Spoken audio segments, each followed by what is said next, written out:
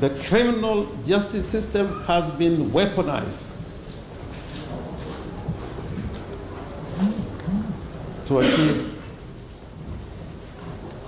an external purpose and for an ulterior motive.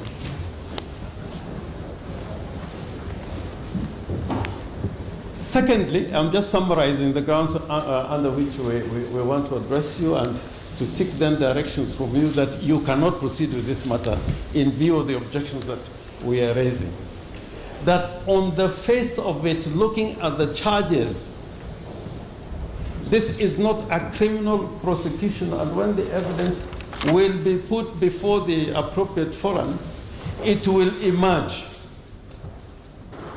that a contractual transaction, a purely commercial transaction, has been criminalized.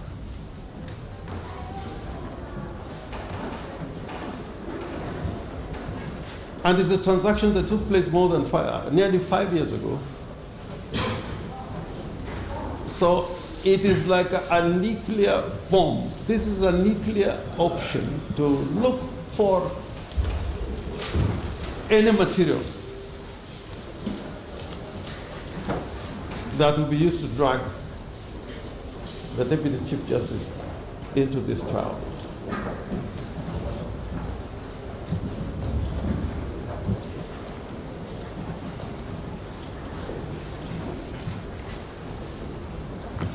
Thirdly, we are going to demonstrate that there's no factual foundation. There's no factual foundation for instituting these charges against the Deputy Chief Justice.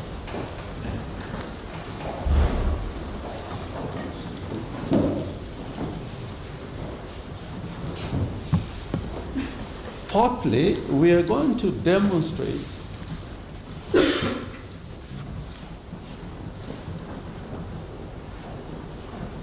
that these proceedings are an abuse of the process of the court.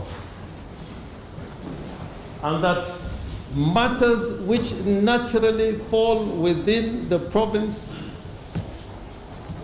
of the Ethics and Anti-Corruption Commission.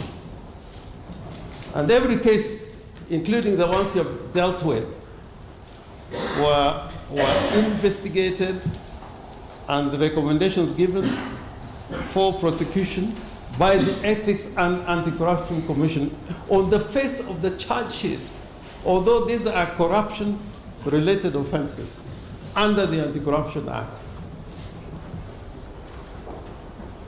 This charges has been brought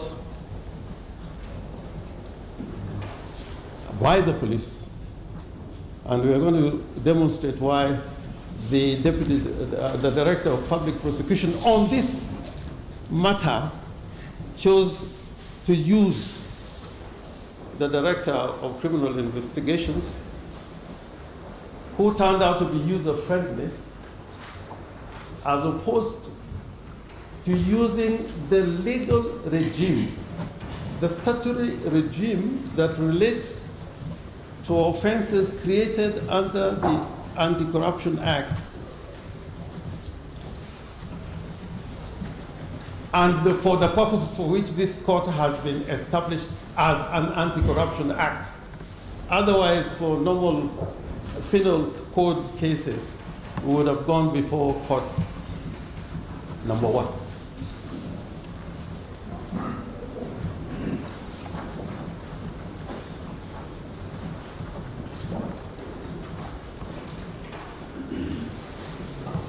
Finally, amongst other reasons which uh, probably we may not need to advance for purposes of uh, uh, persuading uh, your honor that this matter should not be taken, uh, a plea should not be taken,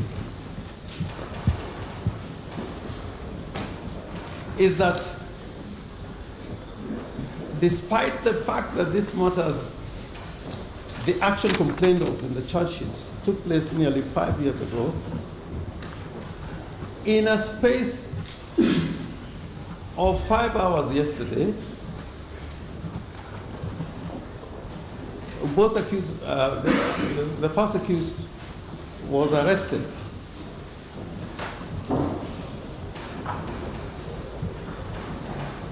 Taken to the Director of Criminal Investigations.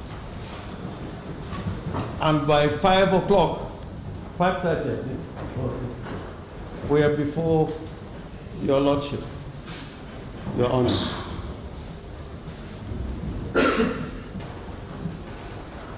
This- that is an unusual uh, efficiency, very unusual. For those of us who practice in this court.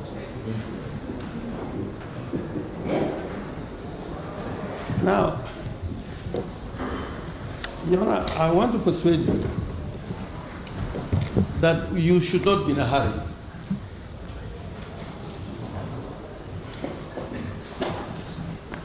To require the accused person to take plea.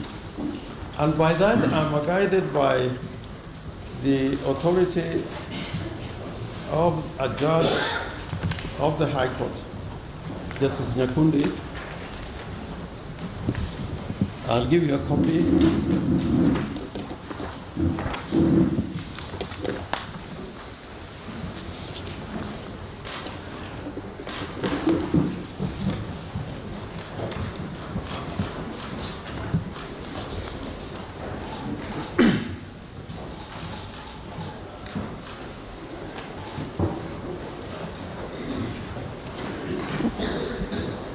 My Lord, uh, in, in my reading of the law in relation to taking of pleas, there is a case that is familiar to this court, Adan versus the Republic. I think there is no case that advanced the need and the process of a careful consideration of a plea, other than, uh, more than Adan versus the Republic.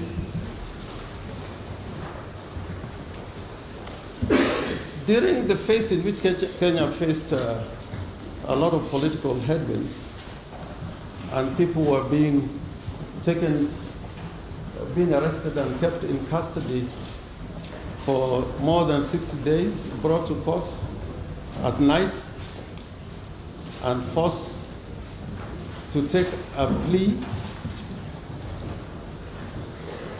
in order to address that mischief. The Court of Appeal came with another very important decision, the case of Odhiambo Olel versus the Republic. And in that case, the Court of Appeal pointed out that at the time of the plea taking, the court has a responsibility. It's not a matter that should be left to an accused person, it's not a matter to be left to the advocates, but courts also have a responsibility.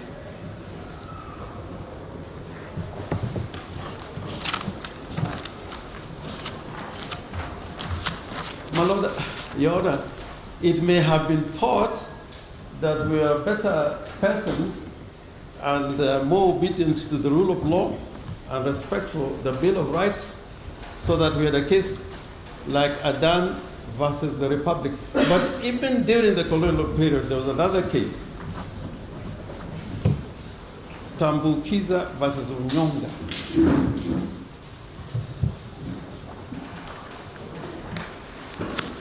This is before independence. A decision of the Supreme Court of Kenya, which later on became the Court of Appeal.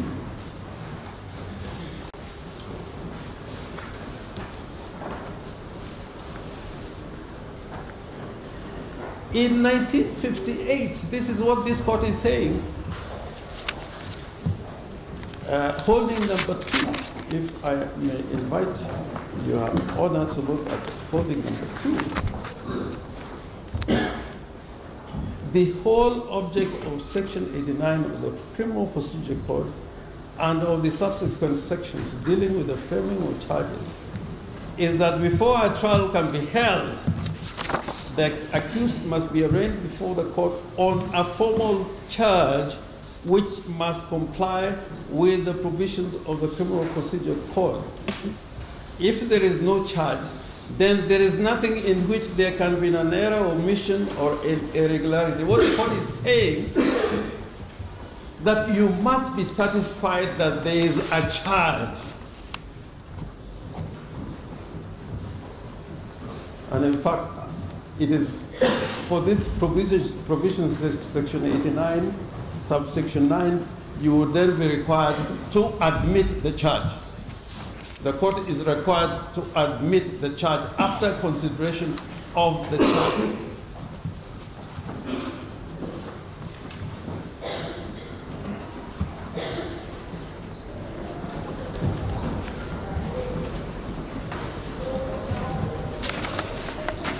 So, Your Honor, in relation to now the authority that I've placed before you, and I'm looking at page six.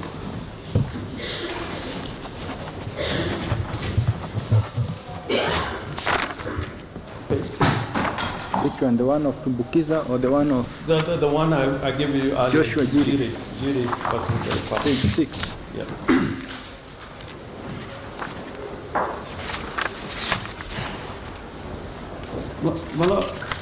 Your Honor, I, I think this is a very important case for purposes of the development of the law.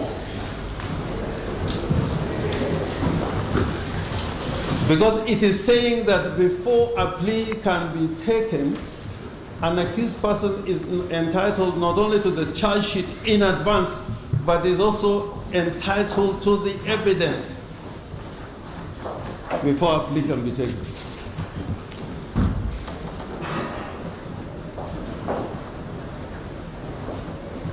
So, looking at the material that has been given to an accused person as evidence and looking at the charge, an accused person can then make an informed decision as to whether to plead guilty or not to plead guilty.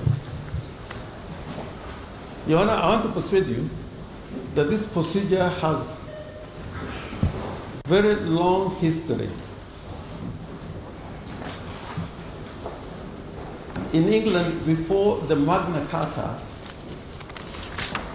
there emerged a mechanism which found itself in common law jurisdictions, including our own jurisdiction, the idea of having a pre-trial process so that before you take an accused person to court, there is a determination as whether there is a proper charge and there is sufficiency of evidence. Not sufficient for the de determination of guilt or innocence, but to make sure that somebody is not being dragged to court on trumped up charges. So in England,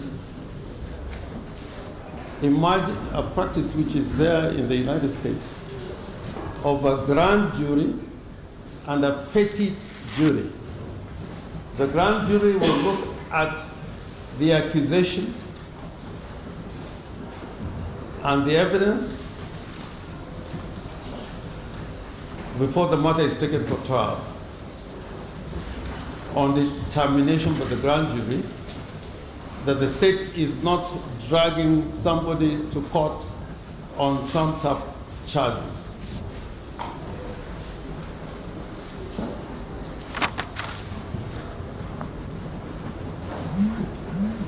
And the Honor would know that in relation to the capital office offenses that are triable by the High Court, including murder and treason, formerly there was there were what are called committal proceedings that went before a magistrate and the magistrate would make a decision as to whether there is sufficiency of evidence and a proper charge for the matter to be taken to the High Court for trial. Those committal proceedings used to be almost a full trial.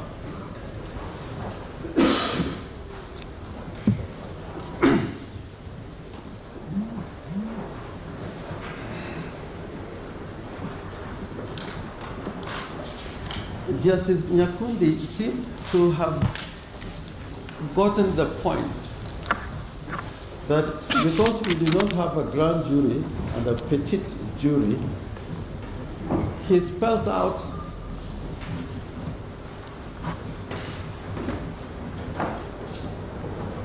what the accused person must be, what must be availed to the accused person before please take it.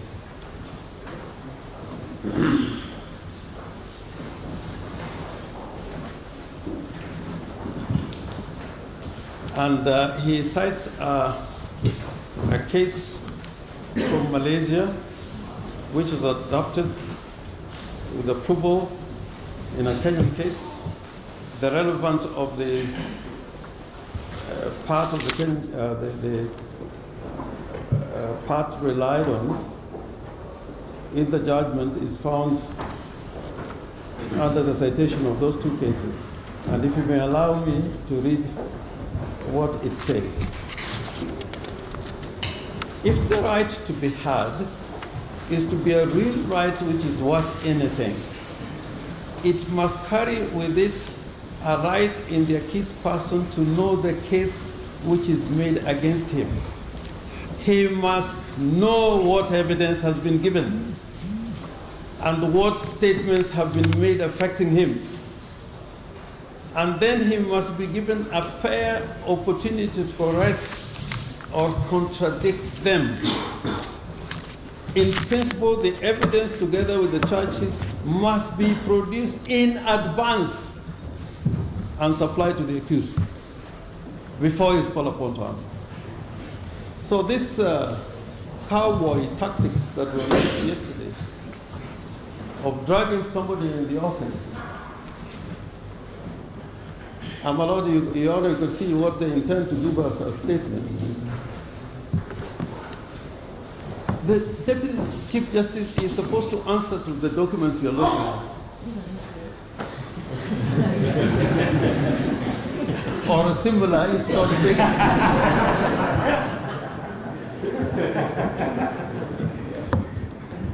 Now, for, for an accused person, this is what the, the, the is saying, uh, Nyakundi is saying. Before you can elect to give an informed plea, you don't just need, you don't just need a statement of the offense and the particulars. You need the evidence so that you can say, okay, it looks like they got me on this one. so the best part is for me to plea bargain. There are provisions for plea bargain.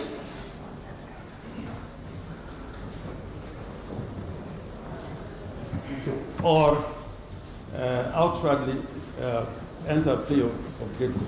Now, consequently, where an accused person, uh, now she is talking about a conviction, where there a, been a conviction.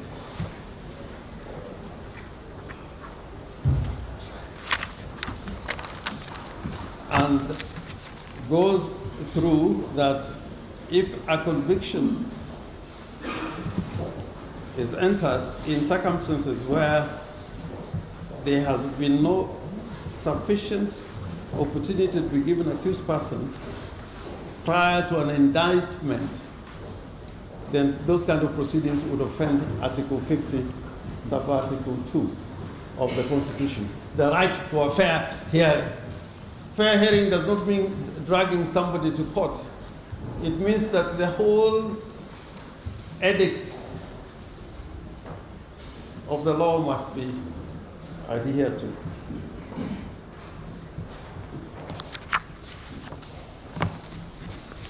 And then in the middle of this passage, he says, I can think of no possible rationale. This is a judge who rose through the ranks.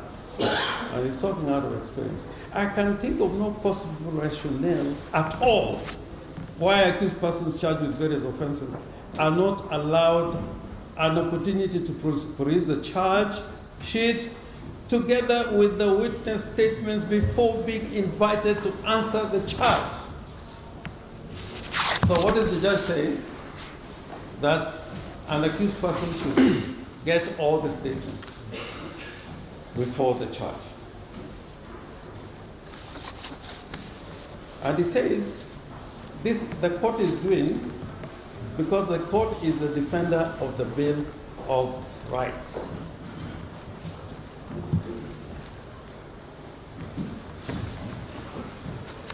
And that is contained in Article 19 of the Constitution. There is nobody, no person in Kenya who cannot follow the Bill of Rights, as read with Article 2, Article 10 of the Constitution. We are obligated. So, Your Honor, one of the provisions we are going to, to address is the question of the rights under Article 50, sub-article 2 of the Constitution. And I can, I'm posing the question,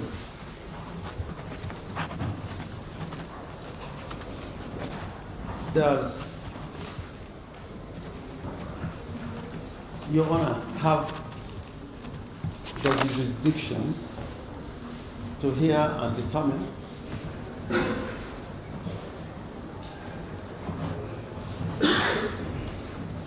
A complaint properly placed before you on violation of Article 2, uh, Article 50, sub-Article 2.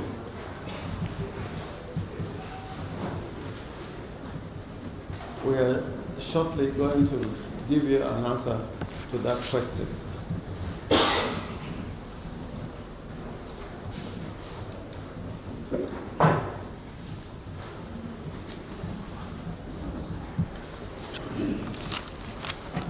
And that is that arises from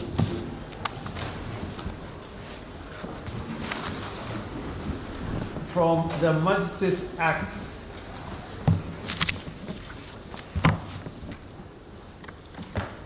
You want to refer me to section 8? Uh, I'm coming to the Magistrates section 8. Yeah, let, let me, let me it. But you can submit on it. Yeah, but I want to submit on it because there's an authority here we want to refer to. Uh, Your Honor, the criminal, the Magistrates Act, Section 8,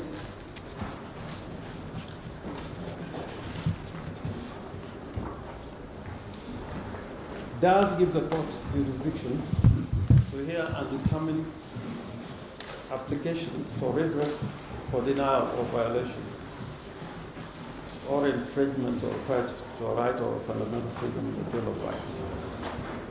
But states that in subsection 2 of that section 8, it, that jurisdiction only relates to Article 25, sub-article.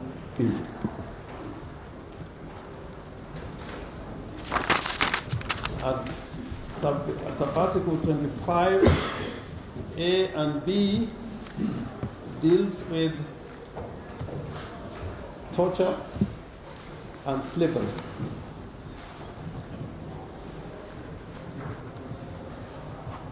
That is the jurisdiction that is granted before uh, to this court. And that is normal. Even the High Court cannot step on a presidential petition, election petition. So all courts, including the Supreme Court, have jurisdiction which is created by the law. But while addressing that question of Article 25, it is important to note that the right to a fair trial is not derogable. And that means when a complaint is raised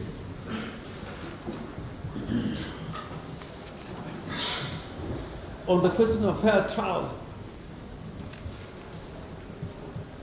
it must be dealt with. But it can only be dealt with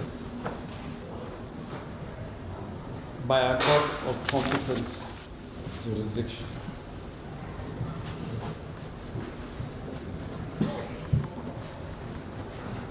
Now, my lord, the conundrum is that the Constitution says you must apply the Constitution, you must apply the law in making a decision. Every person, every state organ, including this court, must apply the Constitution. So when a matter is brought before you in which you have no jurisdiction, then in applying the law, you would determine and locate where that jurisdiction is and let the court with jurisdiction deal with that matter. And it's not any matter, it's a matter affecting fair trial which is non-derogable. And non-derogable in circumstances where Article 19 give a constitutional fiat that the Bill of Rights is an integral part of Kenya, Kenya's democratic state. So the moment we do not deal with that question, then you are undermining the very foundational principle under which this republic is established.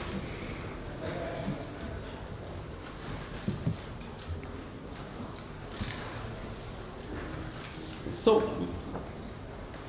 Manok, what we are saying is that uh, you should not hurry to take the plea.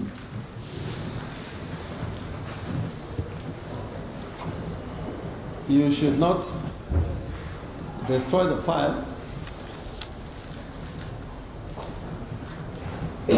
But what you should be telling us that since you have filed a petition, can you go before the court of competent jurisdiction to deal with that question? Once that question is answered, then you can come back with a determination.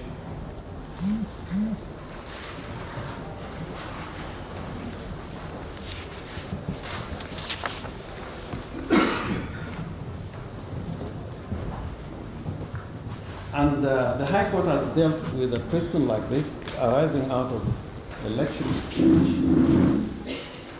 This is case uh, miscellaneous civil application number 305 2017. Uh, it was an application by way of JR. Uh, the ex parte applicant was one Susan Kihika Wakarura and Rodams, and uh, the parties are there. But the provisions, the, the part of the judgment that I want to refer to you without taking too much time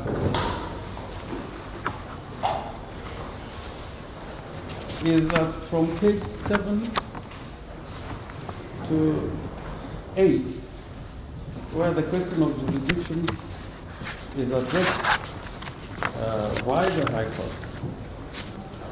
We want to persuade you to apply the applicable principles or propositions which are made in this judgment.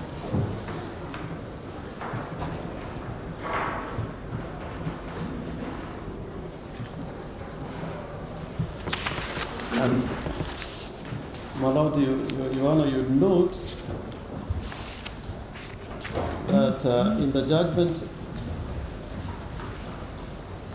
in, on page 5, paragraph 30, there's a reference to the case of owners of the motor vessel Lillian versus Caltex Oil Kenya Limited.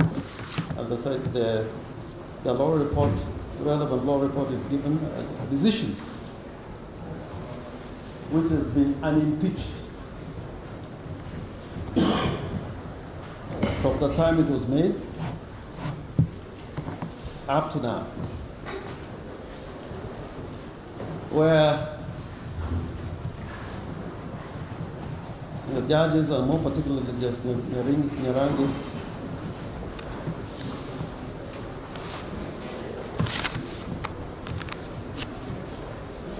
said, and this has been followed by the courts here, that jurisdiction is everything. Either have it or you don't, and if you don't have it, you down your tools.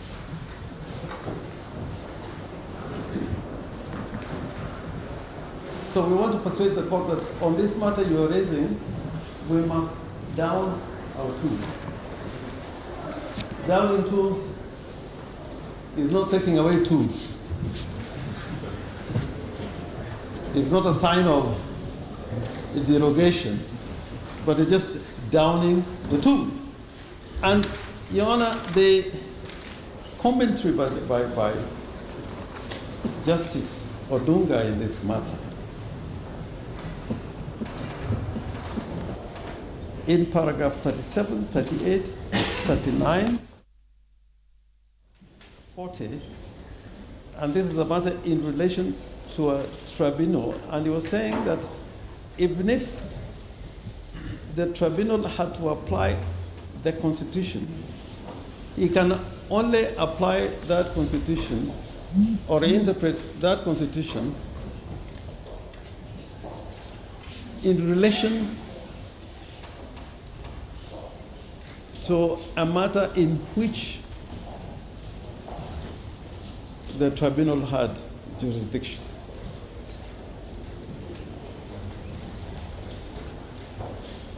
So we are, we, are, we are saying that this is a matter in which you do not have jurisdiction. Now, the other issue that uh, we are raising, which I, I put out in summary, is that chapter 6 of the Constitution is a very important creation an innovation in our Constitution which talks to matters integrity, leadership and integrity. Now, under that chapter, Parliament is directed in Article 79 to enact legislation to establish an independent ethics and the anti-corruption commission, which shall have the status and powers of a commission under Chapter 15.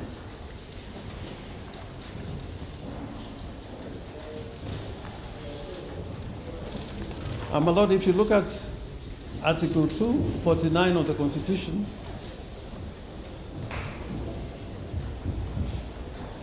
particularly uh, 1249.2, the commissions and the holders of independent offices are only subject to this constitution and the law, are independent and not subject to direction or control by any person or authority. There's a, a constitutional requirement that the commission shall not be directed or controlled.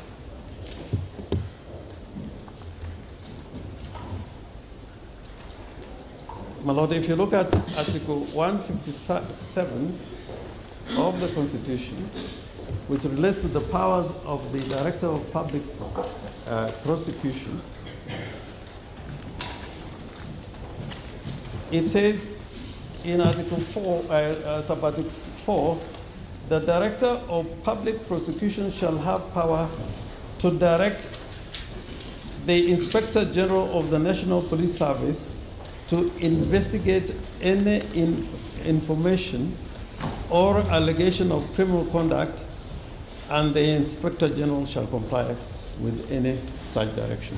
So, under our constitutional arrangement, the only person office that the Director of Public Prosecution can direct or give orders in respect of investigations of a criminal conduct is the Inspector General. Now, unfortunately, my, for the Director of Public Prosecution, if you look at the charges in the charge sheet, they relate to offenses provided for under the Ethics and the Anti-Corruption Act.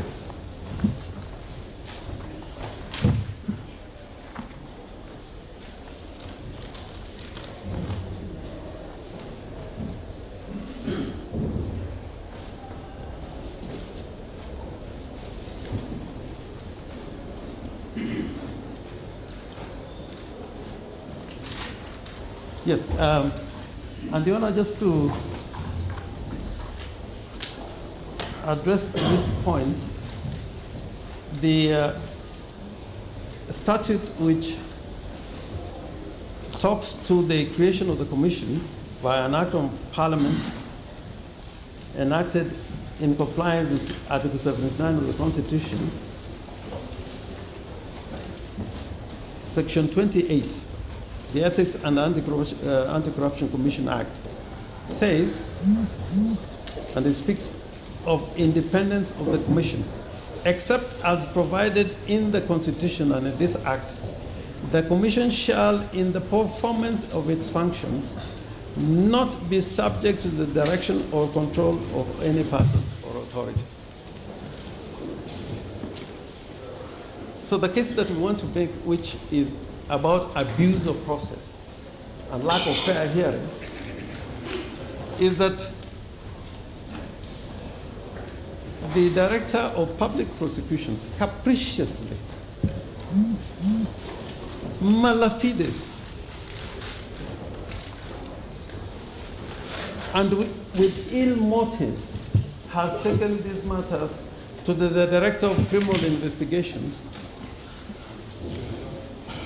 because he knows that that's where he can give directives as opposed to the commission.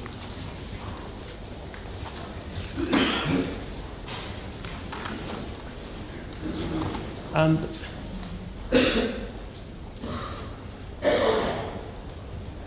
the proposition that we want to advance to your honor is that insofar as the chapter dealing with leadership and integrity in the Constitution, and the enactment of Ethics and Anti-Corruption Commission is for purposes of dealing with matters that relate to corruption and the economic crimes, which we all agree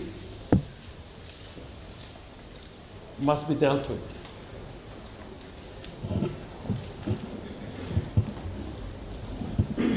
But because they relate to public officers and state officers, in order to ensure that not every accusation that is brought on board is rushed to court. Eh, offenses that relate to the Ethics and Anti-Corruption Commission are to be investigated by that commission. And they do that without direction from anybody.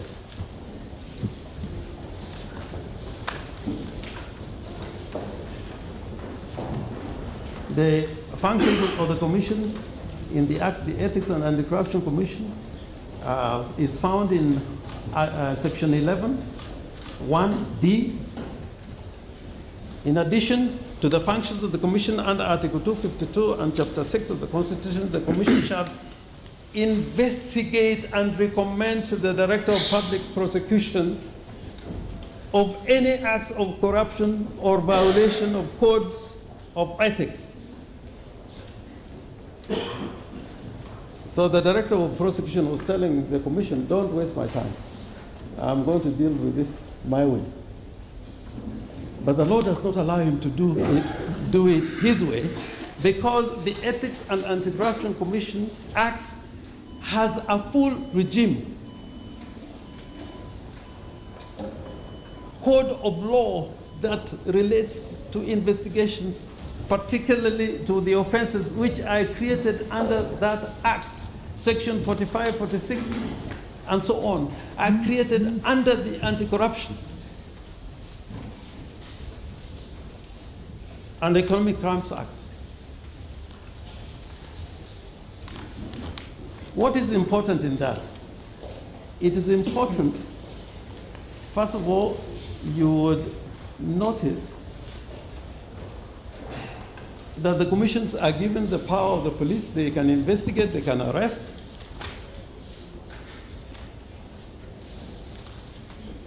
There are many other alternatives, mechanism, asset seizure, requirements for explanation of assets.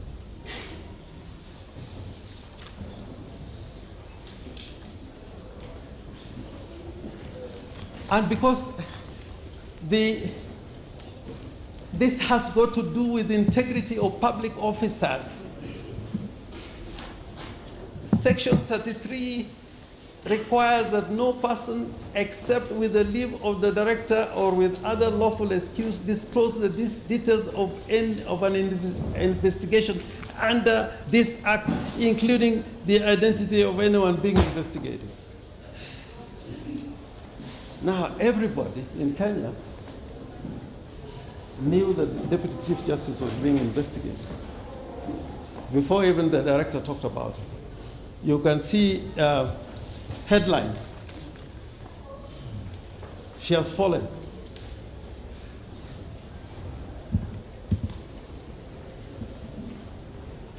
How is this information getting out there before even the director of public prosecution has said anything about it?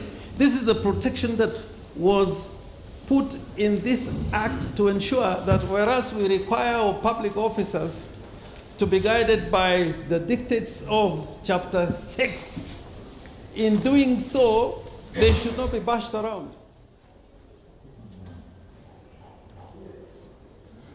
Which is what is happening in this matter.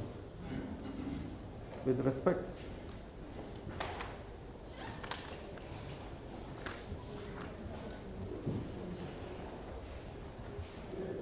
And at the end of the investigation, what is the commission required to do? Section 35. Following an investigation, the commission shall report to the director of the public prosecution on the results of the investigation.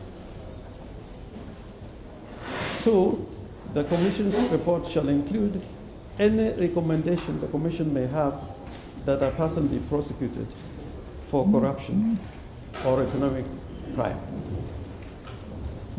Now, this is an economic crime. Corruption. You can see the sections referred to uh, basically falling under that act. And the work of the commission is subject to quarterly reports which have to be given to Parliament, to the President, for examination so that they are accountable in some form or shape.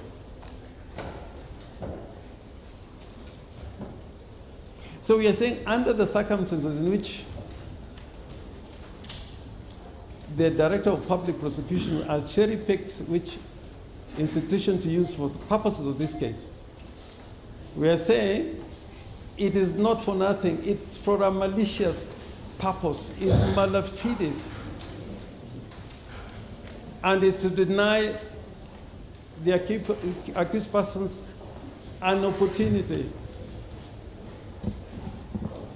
to confront even the allegations that have been made. Your Honor, for example, in count two, we have an answer.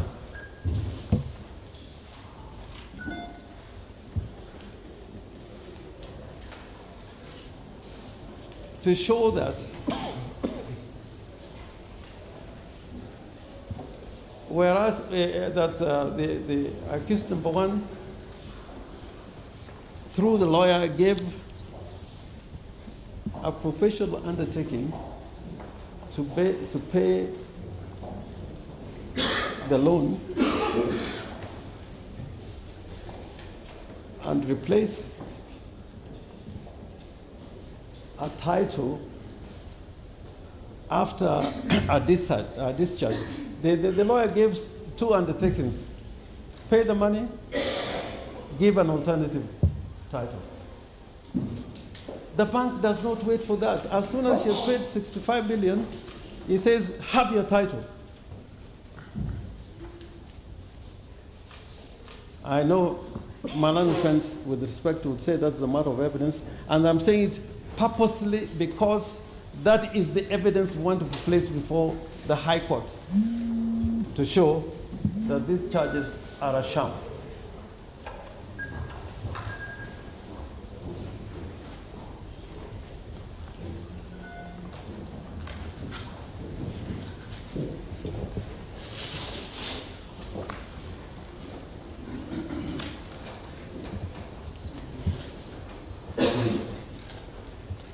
And your, your Honor, while at it,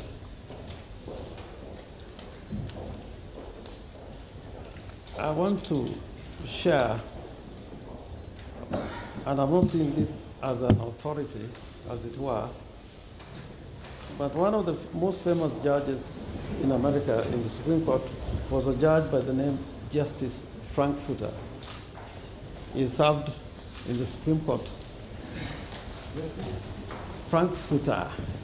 His name is spelled Frank and then F U R T E R.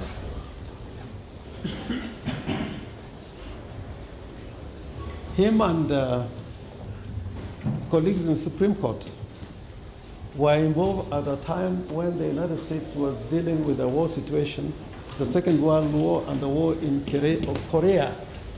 And the executive felt, the President Truman felt that in war situation, the executive can do anything in defense of the country.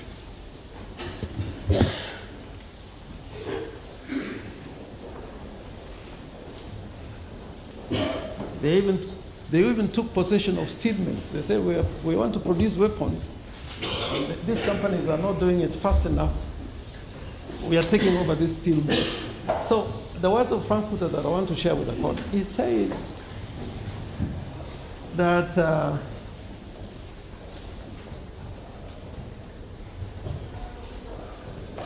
dangerous power which is accumulated by a government